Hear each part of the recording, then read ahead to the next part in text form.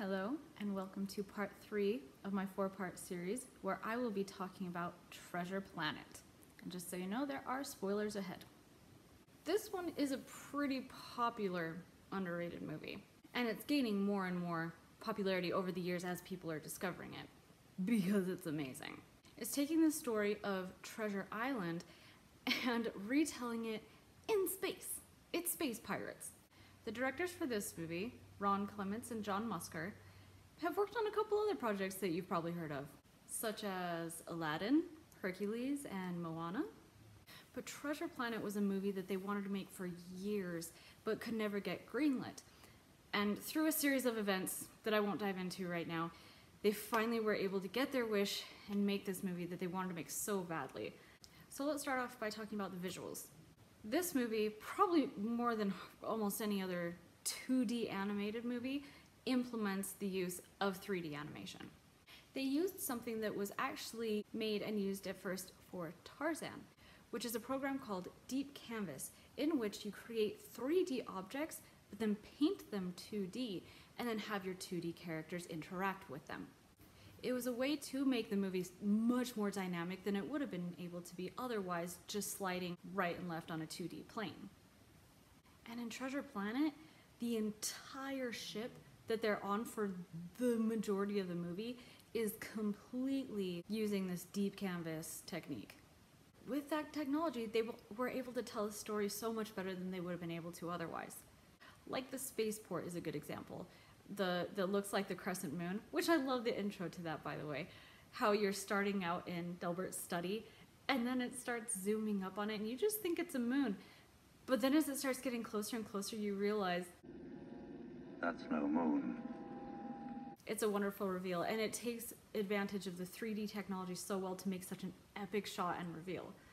Even though this is an instance where the 3D does kind of separate from the 2D and doesn't complement each other, I, I think the 3D every once in a while, and especially in this scene, does kind of stick out and is a little bit distracting.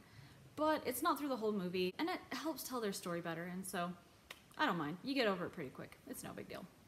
And the character designs are just so fun.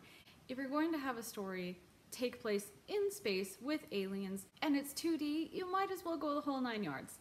And they the characters designs that they came up with are so bizarre and creative and out there.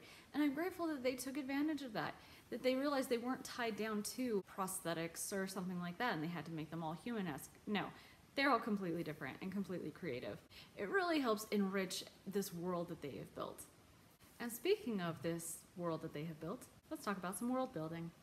So these, these creators, what they wanted to do was blend the pirate-esque era with a futuristic world. Like using ships, instead of it being spaceships or whatever, it is sea ships, but they use the sails as solar panels? How clever is that? how that is the fuel, that is the means by which it is able to travel. But they were able to keep the same design as an old-timey ship, but adapt it and alter it to fit into this futuristic world. And there are examples like that through the whole movie of how they were able to combine and marry these two worlds together to make it just so interesting and epic, and it keeps your interest the whole time, and you're constantly being surprised and impressed through the whole movie.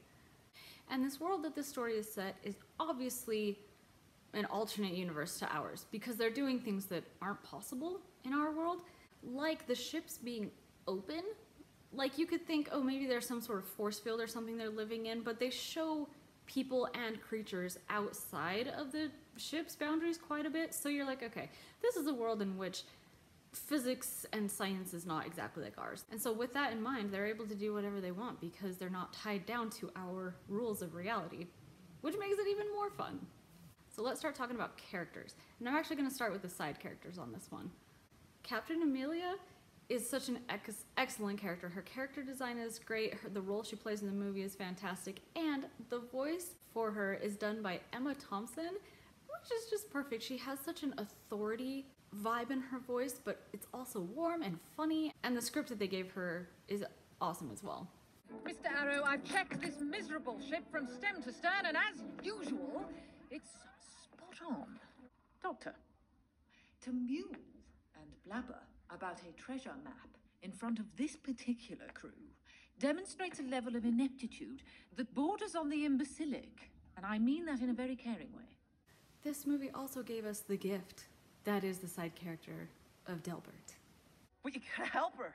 Dang it, Jim, I'm an astronomer, not a doctor. I mean, I am a doctor, but I'm not that kind of doctor. I have a doctorate. It's not the same thing. You can't help people with a doctorate. You just sit there and you're useless. For me, his character is one of the highlights of this movie. And David Hyde Pierce, who is the voice of Delbert, is such a talented voice actor. I absolutely love this character. He's one of my favorite parts of the movie. Now let's talk about Jim and Silver. Like I said before, it doesn't matter how amazing your movie looks, if your characters and your story aren't strong, it doesn't matter.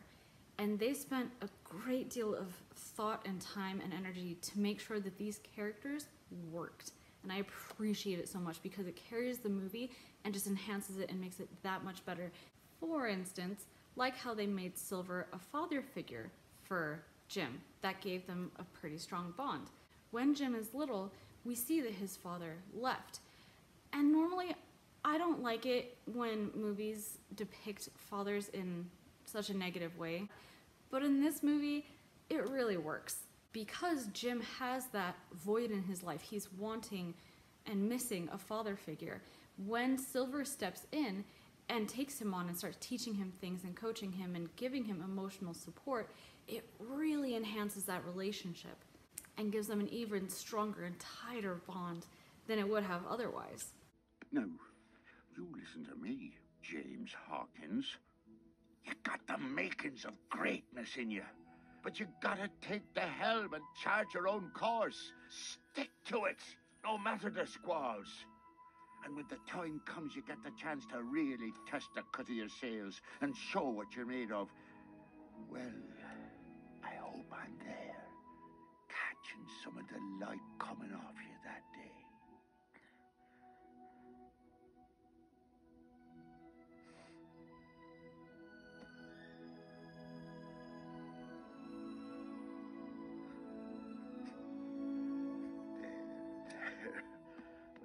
That's all right, Jimbo. It's all right. And because they did that, it makes the when they turn on each other and that betrayal so much more dramatic. And when they come back together at the end, it makes that so much more emotional because their relationship has been established to be so strong. And it's implemented in shots like this that are just so masterful in telling stories like that in such a short amount of time.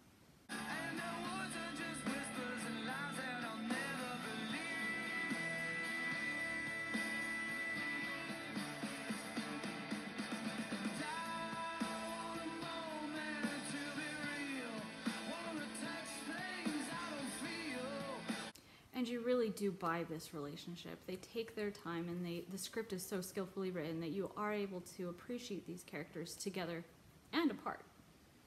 With the character of Jim, they did a really good job of making him a proactive character where instead of it being Billy Bones just shows up at the inn and you know as a guest there and whatever for a while before the pirates attack, he crash landed outside of their inn and Jim brought him in and so Jim feels kind of responsible and has some guilt for the damage that he caused to his mom's inn. And then his decision to go and seek out Treasure Planet to try and right his wrongs, become a better person and have an adventure. All very proactive and it really makes us root for him to be trying because he's trying to do these things. Oh, and speaking of Jim, I want to take time to just highlight one of the best transitions in movie history, which is when he's a little kid under the sheets reading a book about spacers, adventurers, and how who he wants to be and where he wants to end up in life. The transition to him being older, and the animation is so smooth. Oh, it's masterful. And I just wanted to take a moment to highlight that because that's worth pointing out. But you can tell that the entire movie is given that kind of thought and attention to detail so that not a moment is wasted. Every character is relevant, has their time to shine, has their effect on other characters. It's a masterfully written script, beautifully executed voice art. The art and design is just breathtaking. This movie is worth watching. If you haven't seen this movie, I definitely recommend going and watching it. So thank you for watching part three of my four part series. And I hope you will join me over in part four, where I'm going to be talking about some concepts that relate to all three of these movies. I'll be talking about 2D animation, the integration of 3D animation, what happened to it and where it might go, and some other miscellaneous things that kind of are on that subject. I will add a link to that video somewhere on the screen here and also in the description down below. Hope to see you there.